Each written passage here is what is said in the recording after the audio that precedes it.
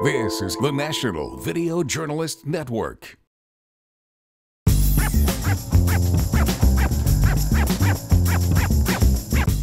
Welcome to My Long Island TV. From Manhasset to Montauk, we've traveled our communities to bring you the following events. I'm your host, Waldo Cabrera. My Long Island TV starts now.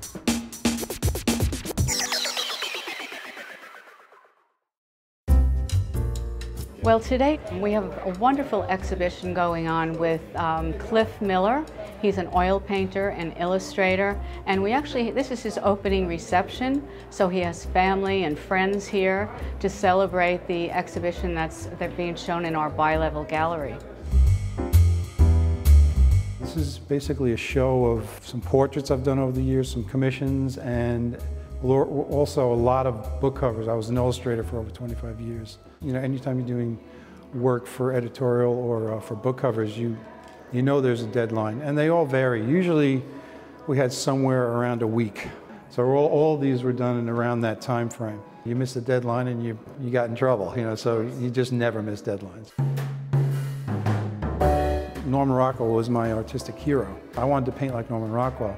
I ended up finding out about a guy named Harold Stevenson who was up in Seacliff and he was one of only 11 students, private students of, of Norman Rockwell. And he offered traditional painting classes in his house for $10 a night. So I, I couldn't get enough, so I went for three and a half years. This is uh, from a book called The Boy and His Dog. It's about the calendar paintings that Norman Rockwell did. And not only did I do the cover, but I also did the interior illustrations. It was really fun doing that book, yeah. To actually illustrate something about, you know, uh, one of my artistic heroes. Typically, as an illustrator, we would have to produce between three and five book covers a month. Yeah, so it was a real way to make a living, you know, and I also got to work at home. I got to be my kids' baseball coach and, you know, softball coaches and um, wrestling coach, you know, so I got to be involved in their lives and still do what I, what I love to do.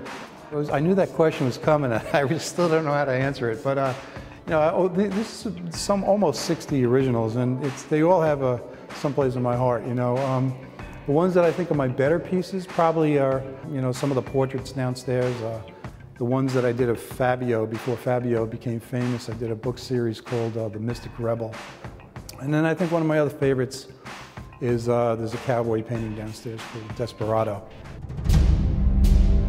This painting over here is a picture of um, a gentleman by the name of John McTighe. His friends called him, called him Mickey. John was a, a co-pilot in, in uh, World War II, in a B-17. And one night they were doing a, a bombing raid over Germany, and the plane started to take on flak, and it was really getting shot apart. John yelled out to his crewmates, guys, get your packs on and get out of the plane, we're going down. The plane took a mortal blow and his crewmates were blown out of the back of the plane. And Tom was put in touch with two men that miraculously survived that, that, that blow. They, they were blown out of the plane, but because they had the packs on, you know, John saved their lives. And uh, Tom was able to hear all the stories of, he had all the gaps filled in, all the questions filled in about his brother, not only his brother's service, but his, uh, the great stories, all the mischief they got into as young men.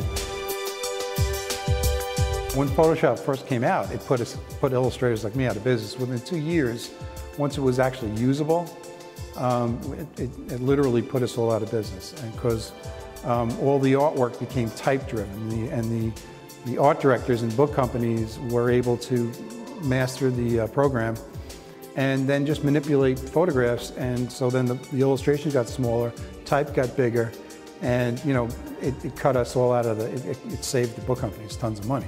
So for me, for any illustrator now, you have to be really well versed in Photoshop because it's a phenomenal design tool. And with the whole digital revolution going, I get fearful that young people who, are, who have the passion for art aren't going to be able to take that journey. Hopefully we can get people into classes who are still have that passion for the analog world and painting that I can kind of pass along the, the, knowledge I've been lucky enough to learn in my life from some great people and have them continue it on and, and, and enjoy the same things that I've enjoyed as an artist.